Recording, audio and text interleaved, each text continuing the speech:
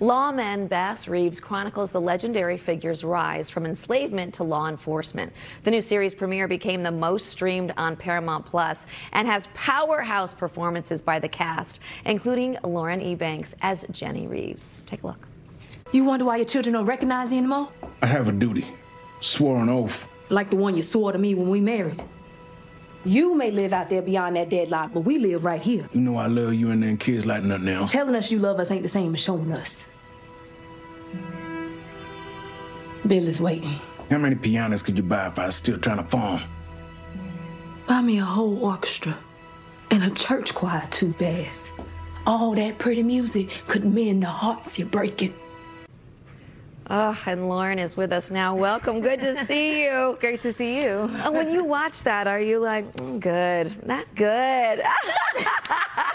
I, I, I, see it, and I and I'm I'm just thankful Jennie Reeves' story is being told. I know. You know what? Yeah. This is so. I mentioned it in the top, but this became the year's most watched series premiere for Paramount Plus. Yeah. Which is saying a lot, That's obviously, because awesome. a lot of people are watching that. The first two episodes have what seven and a half million views. That's what they say. How are you feeling now that it's out and everyone is loving it? Oh, I'm so happy. I'm. I, it's a dream come true to just you know be an actor. I've been, yeah. Something I've been you know, looking forward to since I was a kid.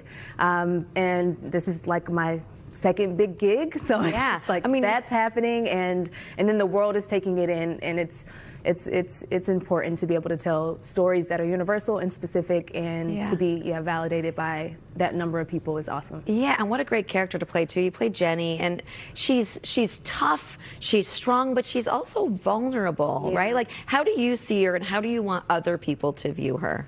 Um, I see that woman. I, I've seen that woman all my life. You yeah. know, like in my mothers and my aunts and my grandmothers. Um, I want to from them. Oh, for sure. Yeah. I think it's a, a lineage and a legacy of womanhood that I think is specific in African American culture with with uh, Jennie, but universal.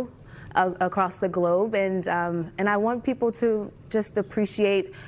I probably, you know, she's soft and she's also strong and powerful and all these things but she's she's a dreamer like there's a yeah. there's a lot in her that she wants to share with the world and and a hard time to be, to be a dreamer of. yeah too in, in order to have that she needs fertile soil to grow and, and be who she is and yeah. that's what the show has provided me yeah yeah absolutely um, and then, uh, this is based on a true story and there's a lot of uh, research out there for yeah. other characters. Yeah, yeah, Not a ton of stuff written about Jennie. So no. was there research for you? Like, how did you yeah.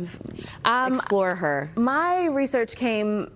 I saw two images of Jennie. One by herself. One with Bass. They were tintypes. Yeah. And I saw census records. You know, just kind of get a sense of who she was related to, what their names yeah. were. But a lot of it came from my context clues about Reconstruction, about being a newly emancipated person in the world and about um, trying to figure out exactly what to define what freedom meant they had to decide what that meant yeah, for them. Yeah. And I think that took a, a great amount of courage and um, and a moral compass and and also you know a lot of, of vigor. Yeah. But um, the the research was it, was extreme, especially because she was a woman who gave birth to 10 children. I've never given God birth to her. any. you know yeah. what I mean? Like I can start I've there. had three, and that's 10's a lot. it's wild. And then doing it in, in that time, you know, on the yes. kitchen floor or something like that. I, um, I, spent a lot of time endowing my fake prosthetic belly yeah. with the same kind of relationship that I, I imagine a mother has. And yeah. then I would go out into Fort Worth, into town, and, you know, just experience what it uh, nobody what knew it was like. Yeah, otherwise. Well, I got to mention this. Um, so I, I, heard that Oprah threw you a party uh, uh, for the show, and what is that me, like? But what's it like? When, when take us inside that celebration. What's it like when Oprah throws a party for you and your cast? I uh, so she yeah she knew her David that we weren't able to attend our premiere because of, strike, because right? of yeah. the strike, and she said, okay, you know, David, we'll, we'll I'll throw this party for you guys because you really deserve. The show is so good, I love it so much, ah. and I really want you and the cast to have the full experience of celebrating with each other, yeah. and we danced so hard. But outside, I was really cool and calm and collected on the red carpet. and then I got next to Oprah and, and, David, and it was just like the inner kid in me just came out oh immediately. Yeah, yeah. Um, and you know, she's an awesome champion for art and, and yeah. in our culture, so I'm very happy. Yeah, yeah. And, and that's some. Now you're BFFs.